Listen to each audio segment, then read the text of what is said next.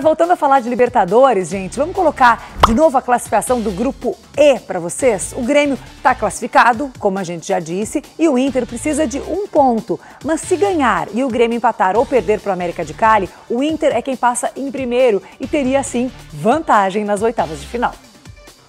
A classificação passa por esse cara aí. A gente está bastante expectativa, a gente quer confirmar essa classificação, a gente tá, quer quer estar tá entre os melhores, né?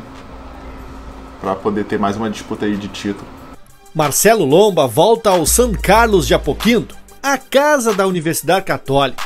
No ano passado, neste mesmo lugar, o Inter venceu o Palestino na estreia da fase de grupos da Libertadores, lembra? Lomba fechar tudo lá atrás, como fez em 2019 em Santiago, o Inter garante a vaga nas oitavas. Marcelo Lomba chegou ao Inter em julho de 2016.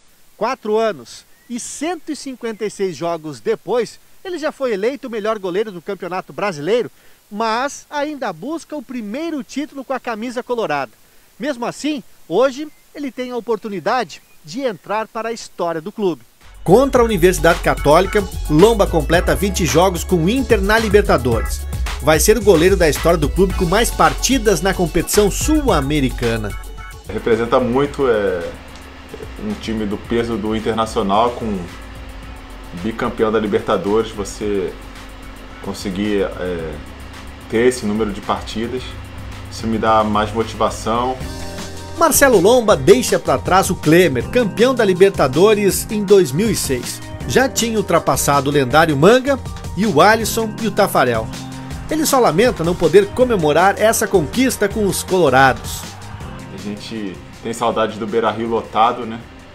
Mas sabe que a hora certa vai, vai chegar e poder comemorar essa marca é, e, e, ter o nome aí gravado na, na, na história do clube é, é, uma felicidade muito grande. Se depender do Lomba, os torcedores podem ficar tranquilos. Os ares da cordilheira chilena fazem bem ao guardião do gol colorado. Muito bem, Lombe mais 10, vamos ver o provável time do Inter para hoje. O Cudê deve poupar alguns jogadores para o jogo de domingo contra o Flamengo. Tem dúvidas, mas está aqui o campinho na tela, começando por ele, Marcelo Lomba, depois Rodinei ou Heitor, Zé Gabriel e Cuesta e Wendel. Musto, Edenilson ou Nonato, D'Alessandro e Marcos Guilherme, uh, ou Peglo, e aí no ataque, Galhardo ou Potker e o Yuri Alberto fechando a escalação colorada para hoje.